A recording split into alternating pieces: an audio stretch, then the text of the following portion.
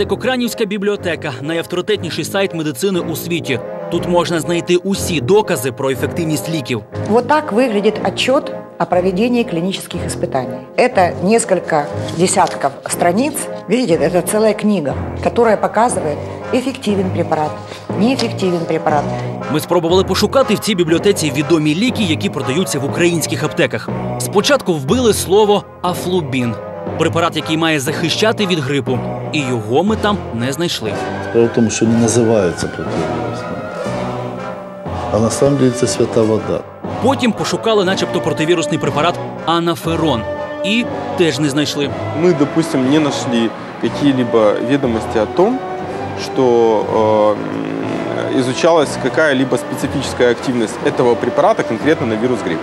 Ще і амізон, ліки, начебто від грипу, знову безрезультатно. Он не обладает противовирусным действием.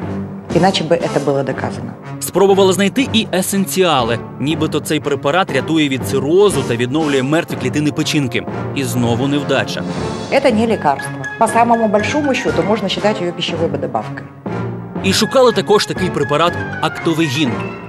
Препарат ніби рятує від інсульту та налагоджує кровообіг. Нет препарата, который лечит инсульт. Вообще ни одного и нигде в мире. Актовігін не кращий за плацебо, скаже кандидат медичних наук. Але представники компанії, яка випускає препарат, не згодні з тим, що їхні ліки пустишка, і показують графіки порівняння актовегіну і плацебо. Ось перший графік.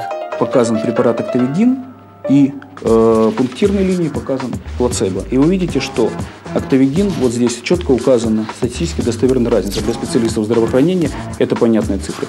Цієї різниці переконані представники фарфірми достатньо, щоб вважати препарат дієвим.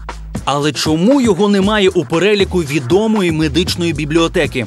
Для того, чтобы э, препарат был представлен к Охреновской э, библиотеке, нужно, э, возможно, чуть большее количество э, исследований, да, нежели есть сейчас по препарату.